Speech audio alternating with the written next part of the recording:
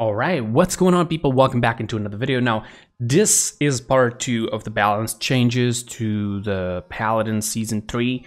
Uh, every champion has been basically changed. There's like two or three that haven't been touched yet, but maybe touched uh, while we're in PDS, we'll see.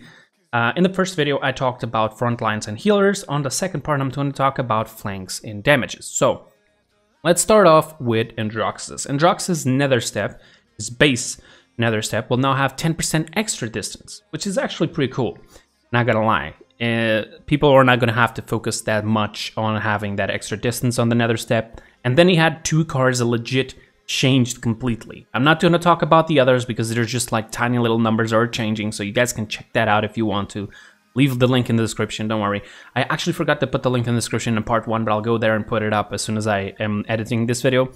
Um, Featherweight, instead of actually reducing your damage while you're in the air, you now heal while you're drifting, which is really cool. You can just use your nether step, stay as much as possible on the air, you can heal up to 250 per second. And instead of, with the quick draw, instead of reloading speed, now you have max ammo. So the base max ammo, instead of going like to 6, you can go all the way up to 11. And that's actually pretty damn cool, not gonna lie. Alright, now let's go into Buck. Buck and is Ensnare, the talent that would allow you to increase the damage on people that you would hit with the net shot, now has 20% extra damage instead of 30, so it's a little bit of a nerf. And also the duration of it is now increased to 2.5. Now, you guys may know this, resilience will reduce the amount of time. It has like a, a minimum, I think, um, but the thing is resilience now has been nerfed as well, so it's not all bad news. So let's continue. As for cards, his Giga Siphon, uh, it's a card of recovery. It would gain lifesteal after 4 seconds after you use recovery. Instead, you will have more speed while using recovery. So that's actually pretty cool. Exhilarate, instead of healing after you hit a champion with the Heroic Leap, this is something that a lot of people would use with Bounce House. Instead, hitting at least one champion with a Heroic Leap reduces its cooldown. You can go all the way to 5, but it only can happen every 5 seconds. So you can, every 5 seconds, reduce the cooldown of Heroic Leap itself. So double Heroic Leap may actually come back if you hit like 2 or 3 people, which is really, really cool as well. No Escape, uh, the card would increase your movement speed by X percent for 5 seconds after getting a kill blow now actually works even with eliminations. So meaning that you don't need to kill somebody, you can assist just it. You know, you can just throw a net shot to that person before he dies. It's considered an, uh, an elimination, assist, uh, an assist but it has been nerfed on percentage, so it's going to be giving you maximum 25% speed. Let's go into Evie. Evie's cards and her Flicker card for Blink, the one that would heal you after you use Blink. Now, with double Blink, it would be pretty OP. They have to nerf it. They, they basically nerfed it. I just needed to talk about this one because this is one of the cards that it's the most used. Then this one here was actually completely changed. Increase your movement speed by percentage while out of combat. Instead, you will now have more HP. You can go all the way to 150 HP, meaning that, you know, she's not going to be as squishy as she is. Now let's go into Koga. He had a buff to his HP. He now has 2000 HP, 100 more, which is pretty good. It's almost like a card to increase HP by 2. So that's pretty good as well. Uh, as for his uh, submachine guns, they reduced the damage fall off at range, so it means that at longer range you're going to be able to do more damage, and they also reduced the spread at range, which means that you're going to be able to spray down people a lot easier. It's going to be so much stronger, the submachine guns, it's insane. Um, Dragon Stance also now consumes 20 energy to switch into Dragon Stance, so there's not going to be any more people just switching to Dragon Stance and Skewer, you know, and then just do it again and skewer with the dragon talent. Uh, because as soon as you consume that entire energy to use the skewer, what happens is now you're gonna have to wait to have 20 energy. Now, but what they did is they did decrease the rate of energy decay. So it's gonna be like half. Instead of going as fast as it was, as it was going every time you would go into that stance, uh, it's now gonna be taking longer for you to stay in the stance, in the stance, which is gonna be kind of bad if you think about it because the dragon the dragon blades the you know the his his claws like his claws are actually pretty strong if you think about it but uh, hey let, us see what happens now as for cards the one that actually changed a lot was the one that would give you ultimate charge upon getting killing blows instead now you can increase your max ammo and going all the way to 50 so Jesus Christ, this is insane. I don't think people have the notion of how much this means. And I'm not entirely sure if this divides by two, by the two, um, you know, the two uh, SMGs, or if it goes for both. Because if this this go this should go like for you know for dividing, so it should be 25 for one, 25 for the others, for the other. So it doesn't look like much, but trust me, this is insane. And together with other cards that give you ammo back, or like, for example, the card that gives you ammo while you're using agility, you're just going to be unstoppable. Now, Lex didn't really had a lot of things. It was just four cards to change a little bit on the values, you know, little stuff, not too much. Let's go into Maeve. Now, Maeve did had a couple changes that I liked.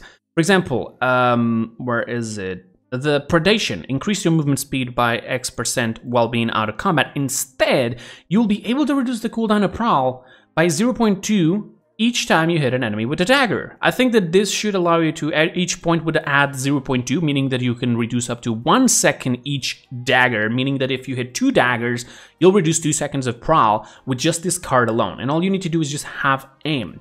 Cat Burglar is going to be insane, people. It's going to be incredibly insane. Now, one thing that I need to bring here is the damage reduction after Pound has been nerfed, but the damage reduction after 9 lives has been buffed. And also, uh, uh, Fight or Flight, uh, the 9 lives, uh, I think is the speed that it would give you. Now you have 4 seconds of speed, you know, more time. Pretty good. Now, into Moji. Moji Snack Attack health drops are now visible for everybody and they can pick them up. So it's going to be sort of like a fight because you get the kills and people are going to try to grab them. But if you're playing as a team, you can just, you know, you can coordinate things and they can just get it. Now, but it does heal for less, 600 per little plus, which I don't think it still is really good if you think about it, because even if you're being cauterized, it's going to be counting for a lot less. And 600 HP, I mean, we're going to have to wait and see. All right.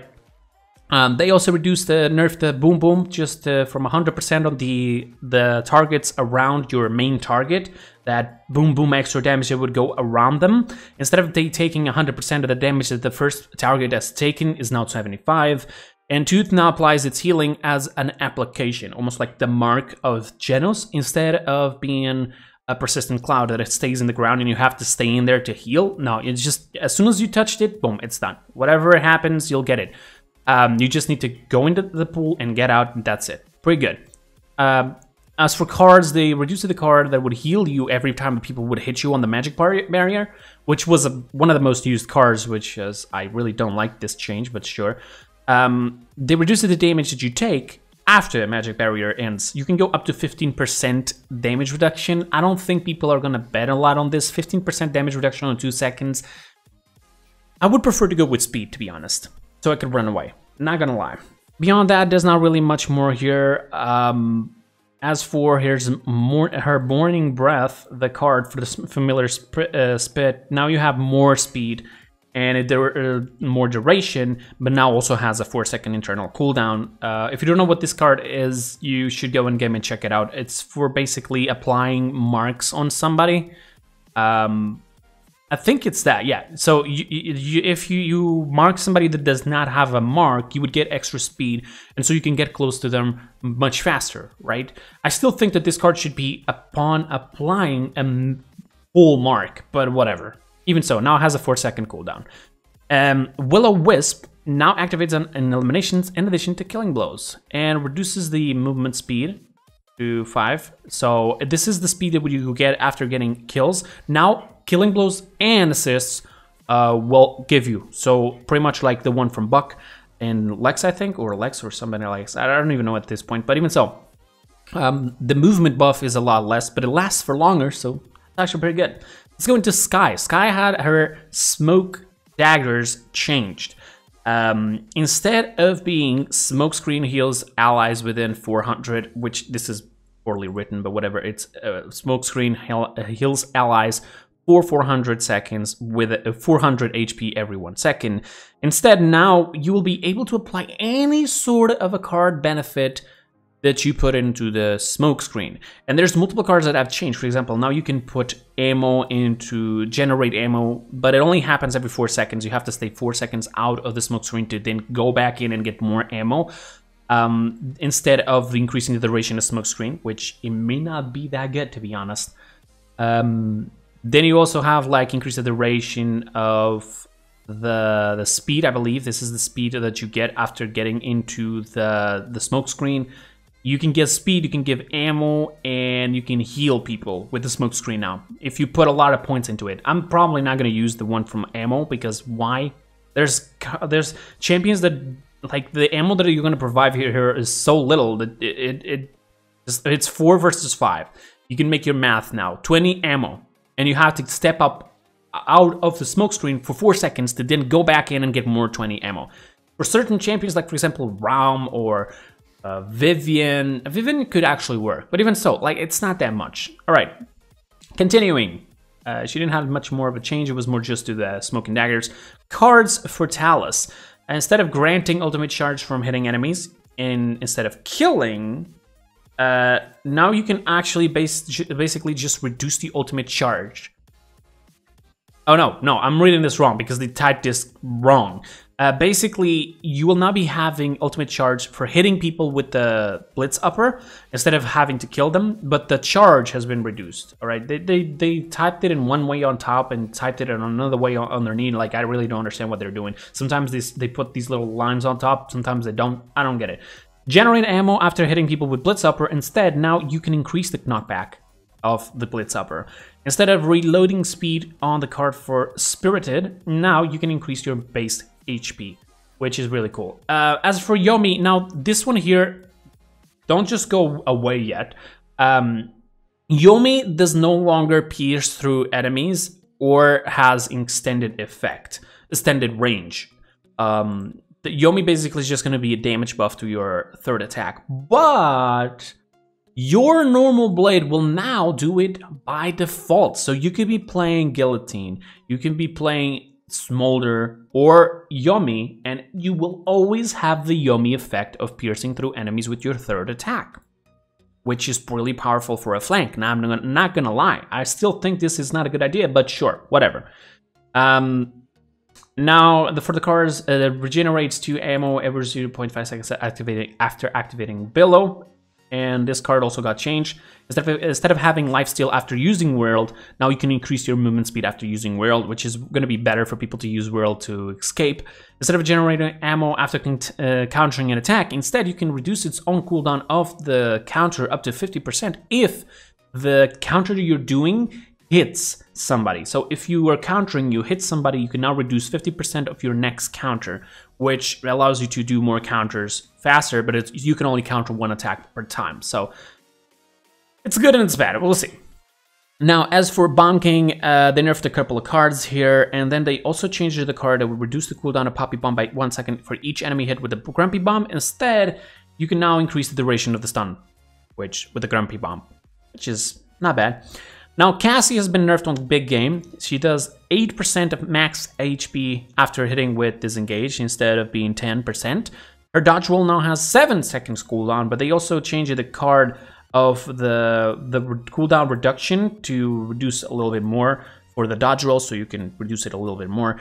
And activating dodge roll now heals you instead of getting life steal after you do dodge roll with the card of Onslaught. Now let's go into Dredge. Already in the damages. Oh yeah, we are. Okay, we're going fast. Cool. Uh, as for Dredge, uh, basically card changes as you can see here, nothing really much. Drogoz pretty much card changes as well, nothing really much here important. Um, as for Imani, they changed it, they removed the in-hand offset and the mid-air inaccuracy for both the power ball and the frost bolt, meaning that you're going to be able to hit shots a lot easier if you're jumping or if you're in the air. It's going to be actually pretty cool. She's going to become a new Sha Lin almost, and I wanted to talk about Sha Lin in a few seconds. Um, you can also, uh, its cooldown of the elemental shift has now been uh, buffed, so it has less two seconds. Uh, the Frostbomb now has more speed on the projectile, but it has less stun, so one second instead of 1.5. The Frostfire Glide now has more speed, but it also it, and it has more duration as well. It has more speed and duration, so that's actually pretty good. But I think they actually uh, nerfed the card that would allow you to reduce the cooldown of the Frostfire Glide, as you can see here. And um, other cards are just basically, you know, small little shifts. You can check that out later. Now, as for Kinessa, uh, her mines actually have a buff. So they have more damage, they have more HP, and they have more range. So pretty good. Uh, as for beyond that, the transporter now has a faster animation, so it's faster for you to use the transporter. It's like basically one second instead of one 1.5 almost. Uh, as for a sniper, you take less time to fully charge a shot. And beyond that, it's just card changes. We also have this one. Instead of healing for maximum HP after teleporting, now you can only heal up to 25% of your maximum HP. Uh, but you can activate this card every 30 seconds, and every point you put on the card, you can take 5 seconds of this cooldown. Meaning you can take up to 25 seconds of this, and you can heal for 25% of your maximum HP every 5 seconds with 5 points on this card. So you can have here the idea. Um, power supply, instead of killing blows generating ammo, now you reset the cooldown of transporter after you drop a certain amount of HP, meaning that it is an escape. So you can put this like at 3 points, 45% HP. If you drop below 45% and you have the other card, you just use transporter really quick. You know, maybe you just used it to go in and now you need to go out, something like that, you know. Pretty, pretty good. Now Lian had a buff to precision. So now she does more damage, but with less one stack. So it ba like basically overall what they're saying is it will compensate you more for every shot, but it's only like four shots. So you're you're still gonna do the exact same thing, but for less shots. Um, you can heal more for for the card uh, with the Valor. Any enemy, every enemy you would hit with Valor, now you can heal more with it. And Sha Lin is the one that had the biggest changes. Now, there's a lot of things here that I still don't understand, so if you guys really know how this works, let me know. But basically, uh, Recurve now has a buff 20, 10% faster draw rate. And the explosive arrows now actually are named Sand Trap. The talent itself is now named Sand Trap. And instead of being this explosive arrow you would throw dealing additional uh, 300 damage, now it will explode like before, but it's a bigger range, 20 unit, and will deal 100 damage and it will cripple every enemy for one second. So instead of knocking them back, it will basically cripple them. So here you here you go. Um, I think this is wrong. Like if you're going to go with an explosive thing, just at least remove the CC, but whatever.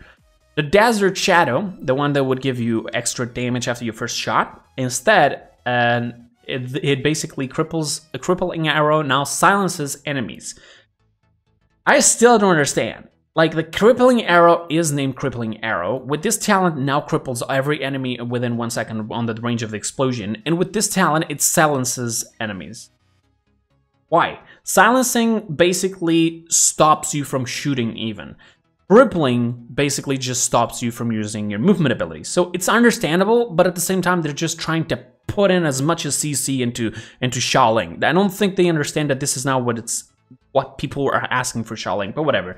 His withdrawal has less time now, so you can use, use it faster. His impaler arrow is now named a crippling arrow, and instead, the next shot fired from your bow applies a cripple on hit for 2 seconds. So you can apply it to one person, or you go with the talent and apply it to everyone that is in that area, but it's for less time, it's like for 1 second. I'm guessing that if you hit it directly to somebody, that person will still get 2 seconds, and the others one, the other ones will get 1 second? I don't know. And they basically transformed Sha Lin into Hanzo. Now I know that some people already said this is the old Cassie, but Cassie did not have an ability like this. She had the same abilities as she has now, but her bow would be like uh, basically Hanzo and Sha Lin. Okay, um, instead of planting yourself, you basically do the same thing, but you just don't plant yourself. You can move, uh, but with less speed. You you move 20% less uh, fast, and every shot uh, every shot now is 500 instead of 800 so you can do this more on the move and you can still cancel it but you cannot it, it, it's automatic. After you activate it it will start shooting shooting shooting and you can't stop it like Hanzo. In Hanzo you can select what you want to do. Like you can use two arrows you can use them all in one one row. You can use four arrows and just not use anything else. With Sha Lin, no, it will use it automatically. It does have less shots, it's only five shots now instead of seven, the cooldown is 15 seconds now instead of 18, and the duration is 1.8. I mean, there is less less arrows to shoot as well, so there you go. And of course, the damage has been nerfed. Now, beyond that, the wind wall rapid shot, which is would be foot planted, um, now hitting an enemy with arrow fix uh, fired during rapid shot applies a slow. So this is what I was talking about um, every CC that they could. They, could they, they're trying to put as much as CC into Sha Lin that it's so annoying. Like, I know people who play Sha Lin that are so strong, and then they're doing this. I really don't understand. But whatever, let's continue. Um, run, run them down for Crippling Arrow, now increases duration of Crippling Arrow's effect. You can go all the way up to 0.5 seconds. Uh, Strix has a nerf to his HP to 2000, and his pistol now does less damage, but has more ammo, and it is easier to hit. It has less inaccuracy on his base weapon, okay? Now, unauthorized use was changed. Apparently, this is a typo. It's supposed to be 350, uh, but I'm not entirely sure. So if you guys have any sort of information, if this is 250 or 350, just let me know, because it, apparently this is wrong. This is supposed to be a 3, but whatever. Crackshot also has a change. Instead of doing this, now Talon Rifle uh, now deals additional an additional 60 damage over 3 seconds. It basically, it's like a poison, and you can stack up to 3 times. And this damage will refresh every single time on additional hits. So uh, basically, you can apply almost like a poison to people with the, the Talon Rifle, almost. And the Talon Rifle no longer can headshot. Now, I don't know if this is for the talent itself or just for the, his abilities, because knowing Evil Mojo, what they've done with the patch notes, I don't know if this is actually here. Just let us know if he actually has headshots or not. So if you guys know this, please let me know in the comments down below. Well, I'll pin your comment or something like that. We'll see. Now Tyra, uh, this is something that I did not knew. Her fire, just a, a based fire, you would have 50% reduced healing effect on it. And now they took it away and put it into Burn Monster. I did not knew that. The bonus damage will has been nerfed from 50 to 30%, and this basically is like a Cauterize 2 now. Because, you know, Cauterize, uh, it's, it's a bit different. It's almost like a Cauterize 3, almost. Uh, but even so. The auto rifle now does less damage, but it has more ammo. And they also reduce the damage fall off at range, and they reduce the weapon spread. It's a little bit, but it's still good. So it means you're going to be able to spray a little bit more with, with Tyra now. Firebomb has less cooldown and it no longer applies the reduced, reduced cooling, healing effect. So if you're playing the Mark's talent or the, you know, the Nate's talent, yeah, you're not going to be able to reduce healing effect with the fire. So this is something I didn't know. It's weird. I know I'm stupid. Sorry. Continuing. Napalm card, instead of uh, using the firebomb will regenerate ammo, now it will heal you over two seconds. Pretty good. Victor had a nerf to his cardio. Instead of healing for 400, now you heal for 300. On his cards, the card that would give you reload speed after hostile. Instead, you will reduce the cooldown of frag grenade every one second as you are in hostile. Now, if you have five points on this card, it means you can reduce one second of the grenade every one second. Going with the talent for grenades, this is just going to be spamming grenades all over the place. But hey, I'm not the one who thinks of these things. I'm not the one who has to nerf and buff the champions, but whatever. Um, the on the move, the card that would give you speed while you're cooking grenade, instead it will now give you speed after you throw a grenade. The beyond that, hit and run and run now also applies when getting an elimination instead of just being killing blows. Um, the, this I believe this is the one the card that would give you speed after getting kills, but it has less speed to give. Okay, Viviana. Viviana, now the card, the talents suspect everyone Instead of you and your levels have 20% less damage from people you're being revealed, instead, the deflector shield now has more HP, and its cooldown is half if it gets destroyed. Uh, but this effect can only occur every 9 seconds. So if there's like a flank that is trying to kill her, there's a smaller window to try to kill her because half of the time that she would have to wait for the second shield now is going to be, you know, it's not half of the time. It's going to be half of the time compared to what it would be before. So it's going to be less of a window, and you either hit her feet or you're really going to have to have like a lot of records so you can destroy the shield as fast as possible. And if you miss a lot of shots, you can destroy the second one. Um, Informants, the card would heal you after getting killing blows on an enemy revealed. Instead, you just heal if the champion that dies just is being revealed, which is pretty good. You can throw a, a drone on a point and a, and a hard spot to see, you're revealing that person that somebody else is fighting, and you get healed because that person, you know, just died. For Willow, uh, her blast flower, flower talent that would basically give you extra damage for longer. Now, the last the, the duration of the extra damage is smaller. And the bonus damage is smaller as well, so people do not abuse it. I like that how I like that they change every single talent. That every time that people start playing that talent a little bit more, they need to nerf it. If they're gonna keep doing this, we're just gonna go on this vicious cycle where everybody is always gonna find everything something new, something better, and they'll nerf it and nerf it and nerf it and nerf it and nerf it. Like this is not a healthy way to ner- to balance a game. Gotta be honest. Um, Dead Zone. Uh, the duration, the cooldown now is more, so it's harder to use, you don't use it as much. And instead of increasing your movement speed after using Seedling, now you increase the speed of the projectile on a card. And there was also a card change here that instead of increasing your movement speed upon touching the dead zone, now it's less time, it's less percent, but you just need to activate dead zone. You don't need to be in the dead zone. So, you know, it's not that bad. And that's pretty much it. Beyond that is just bug fixes that I'm not going to go through. There's a big list here under investigation, general, gameplay, you know, specific champion bug fixes, and you can go and check it out. I'll leave the link in the description so you guys can go there and check it out. Uh, but yeah, that's pretty much it for pretty much all of the damaging flanks. If you want to know about supports and tanks, you're gonna have to go to part one. This is gonna be part two. There's too much here. I honestly didn't even want to do this video, but there's there's just too much information that people probably didn't have understood or maybe they'll miss because they just want to see like the talents and abilities. I was looking at the cards that really changed. That's possibly really important. Uh, and yeah, I'll be also coming up with another video uh, to show you guys the battle pass, the changes of the daily logins going into the battle pass and so on. I want to talk about that, although I really wanted to do it on PDS so I could show you guys. So I may wait for that instead of just talking about it and reading it from here. I want to show you guys, which is a little bit better. And that's pretty much it. I'll see you guys on PDS, which I still don't know when it is. I don't think they actually mentioned mentioned it. It should be like next weekend. And I don't know if on Saturday I'm going to be available, but we'll see. We'll see. That's pretty much it for this video, guys. Thank you so much for watching. That'll be it for today. I'll see you guys next time. And until then, have a wonderful time. Bye-bye.